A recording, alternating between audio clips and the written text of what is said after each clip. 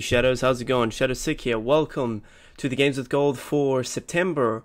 Uh, it is 4:05 p.m. on a Tuesday. On a Tuesday, um, I am filming this before I go down and see my mother to cut my hair. That's right, I'm losing all my hair. Um, not all of it, but most of this length that I have. Uh, so I wanted to do something something else with my hair. So you'll see that in other videos. But I've got a lot of videos that I've pre-recorded with that here, so it's going to be funny seeing like go back and forth, back and forth. Uh, I've also ordered food, so if I get to the if I have to step away, it's to get food because I'm getting Uber Eats. Uh, anyway. So what we got for the first half is we got Prison Architect available from the 1st of September to the 30th of September. We've still got For Honor Standard Edition available from the 16th of the 8th to the 15th of the 9th. Grab that while you can. It's actually quite fun, and the servers are a lot better than how they were a while ago, or at least I think so. We also got Lego Star Wars 3 on the uh, 360. Uh, it was also backwards compatible. Uh, available from the 1st of September to the 15th of September. So grab that while you can. Uh, we also have Livelock on the 16th of September to the 15th of the 10th uh, which will be available. It's Xbox One. I've seen some people play it. It looks pretty fucking fun. Uh, Achievement Hunter did a video on it. If you want to check that out, I'll probably link in the de- in the description. But you should probably watch my version eventually when I do it. Um, but that's up to you.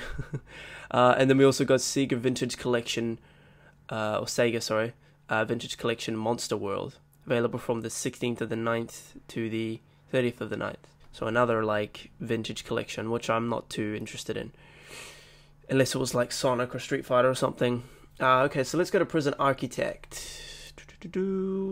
Double Eleven Limited published it. The the layout's changed as well. I'll take a screenshot of it. It's fucking weird. I don't like it. I like the other one, but yeah. Um, so it's uh, four stars. Sorry, three and a half stars, but 11 ratings. Uh, and the description take control of a building and running a maximum security prison as the critically acclaimed Lock 'em Up arrives on Xbox One. And the prison architect, you'll see the impact of your grand design on the lives of your inmates, being uh, a utopic, a utopic center for rehabilitation, a brutal supermax prison, or anything in between. Even when all of your prisoners' needs are met remember one thing it's still a prison. No one really wants to be there. Yeah, that's the thing. Like, do you make one for, like, prisoners to have a good time, or do you make one to fucking give your prisoners a liv- living hell? It's a real question. It's M rating. I don't know why. It looks fucking boring. Uh, and it's thirty four ninety five NZD, including GST. It has some in app purchases. It has an escape mode, and also like an all day psych or something. There's so also um no ratings actually like written down on the site. Where the ratings at? Can I see them? No. It's Game Hub. You can go to the Game Hub for it. Okay, driver's on his way to drop off my food. Sweet. You know. Oh yeah. Anyway, skipping. Moving on. Uh, okay, Lego Star Wars. If you want to see For Honor, you can go into the previous games it's called, or link it in the description. But for for um, Lego Star Wars 3, the game rating is R. I don't know fucking why. Uh, it's 4 stars with 356 ratings. It's 29.95 NZD, including GST on the 360. The gig, uh, the gig size is about 6.3 gigabytes. It was released on the 17th of the 1st, 2012. Damn, that was about like six years ago or something. No DLC in it. We'll go to the next one. So, Lego Star Wars 3, published by Disney Interactive Studios. It's an action adventure family and kids game. Um, explore 16 systems and experience new features like a massive, like massive ground battles in the most action-packed Lego game to date. It's got a five star rating with three ratings. What's the price? You're gonna show me? Oh, it just jumps me to the fucking. Doesn't tell me the price on Xbox One. Rip. Um, developed by Traveller's Tales, um, and published by Disney Interactive Studios.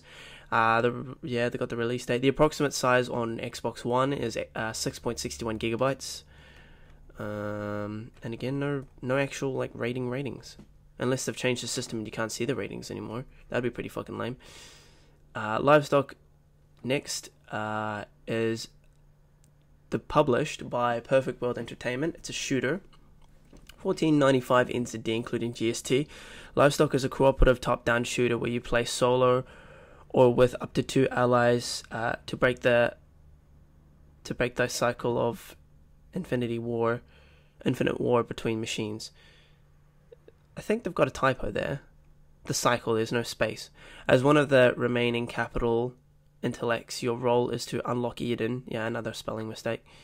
Uh, and revive humanity. It's a PG. Take control of one of the three mechanical chassis, Hex, Vanguard, or Catalyst, to defeat the intelligent mechanical, uh, yeah, mechanical enemies. God, this Games with Gold feels so like unorganized and not so like snippy and fast because they've changed the layout. And it's just boggling for me. Uh, intelligent action, overcome chaotic skirmishes where complete mastery of your arsenal and understanding of enemies. Behaviors is key to survival. Three player co-op. Combine forces and coordinate with friends to take advantage of the class strengths.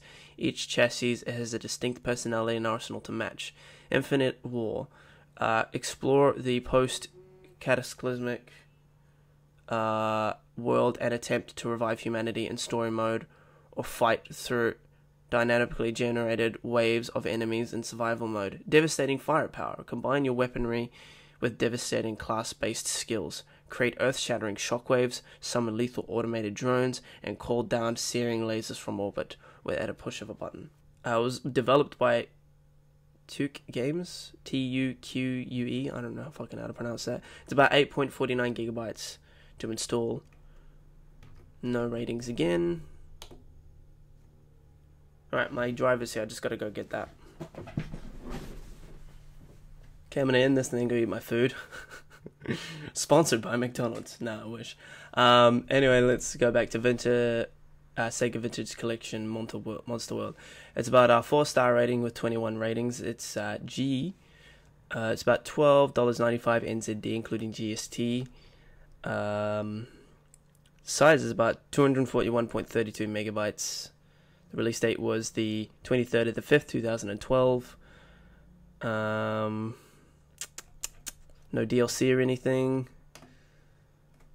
The Xbox One version, uh, published by Sega, action adventure, classics, and a platformer. Um, bring peace to the monster world in these classic action RPG titles Wonder Boy in Monster Land, Wonder Boy in Monster World, and for the first time outside of Japan, Monster World IV. Oh, it's got the reviews? Shit. I, think I just saw a tab, separate tab. Uh, developed by M2. On Xbox One, it's 828.9 megabytes. So let me just quickly jump back real quick. Here we go, reviews. I was wondering where it was. Okay, so it's uh, 5 stars is 45%, 4 stars is 9%, 3 stars is 9%, 2 stars is 0, 1 star is 36%. Um, but no actual written reviews for Prison Architect. We jump over to Lego Star Wars. Um, do 100% 5 star rating with two actual ratings. Uh, 5 star, uh, pu- published on the 1st of the 9th, 2018 by Dr. Epicster. Uh, my childhood. This game was a part of my childhood, and seeing it again brought back wonderful memories. Another 5 star, for, uh, published on the 2nd of the September uh, 2018 r- by Ratio Wellings, I think it's called. Ah, childhood. I remember this from the PS2 days, going to jam it again with my brother. Yeah, I want to jam it with my brother too. Too bad my brother isn't here.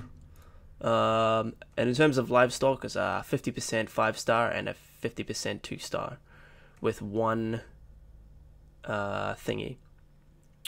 Uh, one one publish, which is uh, 2 star, 26th of the 11th, 2016 by Nikes uh, 2311 copy. It's a copy of this of the Destiny cover story and the game player are the same as basically a Chinese movie ripoff. Okay, yeah, because what the main character kind of looks like fucking a, like a NXO from Destiny. And then the Sega Vintage, I don't think it has any reviews. Nah, no reviews or ratings. Alrighty, so that's pretty much it. So uh, yeah, um, so I'm gonna say goodbye. Also say goodbye to my hair. Um, even though I'm gonna film a couple other videos before I go with it. Uh, but yeah, so please have like, share, enjoy, subscribe, mod, help me a lot. See you next episode, whatever I make. Stars, my name, and uh, bye